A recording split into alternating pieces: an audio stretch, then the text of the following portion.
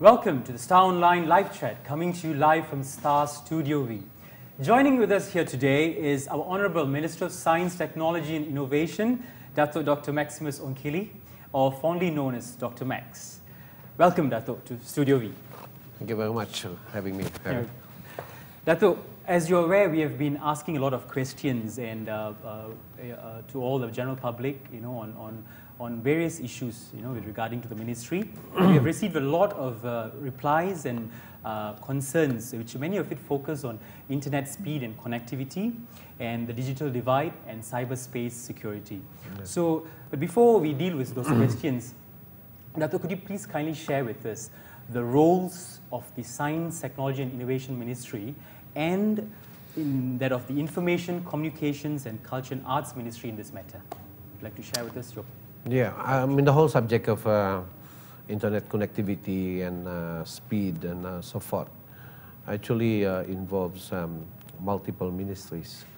Um, but of course, uh, largely uh, the task of putting up the highway is the task of the Ministry of Information and Multimedia because the Multimedia Commission is placed in there.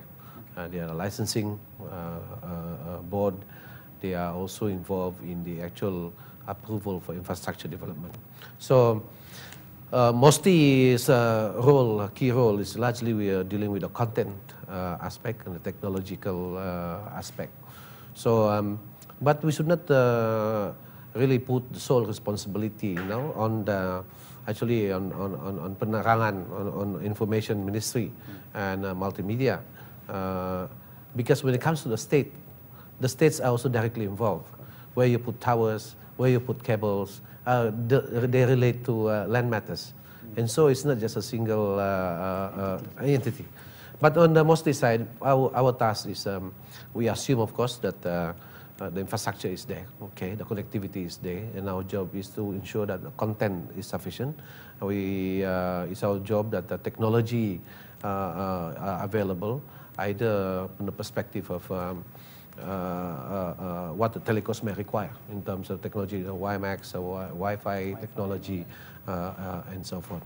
And I think um, because it's a multiple uh, task, everybody is involved, but uh, we do uh, aware of the expectations of the public and actions are in place to, to try to meet those demands as short as possible time. Okay.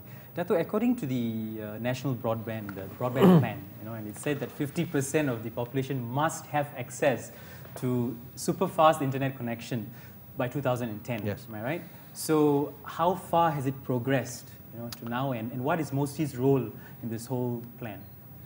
Well, of course, it's, uh, uh we are moving on uh, there. Um, perhaps regretfully, uh, the task is huge to meet the 50% penetration by next year. That was our stated objectives. Uh, at this uh, point in time, we are about 26%. Uh, 26. But uh, the rollout uh, for the broadband initiative is already on. Telecom Malaysia has been charged to, to do that. They, they have budgeted even uh, it's going to cost about 11.2 billion, I think, 2.4 billion coming from the government, 8.9 billion going to come from uh, uh, TM on resources over a 10 year, 10 year period. So the whole thing is that there's two phases. One is a high speed broadband, which is for the urban areas, okay, for business, uh, uh, and of course, um, uh, uh, well, higher standard of living in this area. And then uh, the second part of it is the, the broadband for the general public, i.e., in particular, the rural sector semi-urban. And they have zoned it to zone 1, 2, and 3. Zone 1 is uh, purely urban, zone 2 is semi-urban, and zone 3 are the interiors of Sabah and Sarawak. You know. okay. uh, um, so on, on, as far as that's concerned, actually the uh, efforts are being done. I understand the last one year there's been a bit of a lag. Uh, contracts are being uh, uh, um, constructed by, by Telecom Malaysia, and I'm informed that within the next six months, at least six major contracts are to be rolled out uh, for the establishment of these. However, in the rural sector, it's going to be quite a challenge uh, because of connectivity uh, issue. And um, high speed is going to be dependent actually on high quality uh, infrastructure, i.e. fiber optic and so forth. Right. And then that takes time, you know, to lay out. But I think in the urban and in the semi-urban, it is possible to hasten. Of course, then we'll have the technology on wireless, either, either WiMAX or Wi-Fi. Perhaps that could be used to direct to the last mile.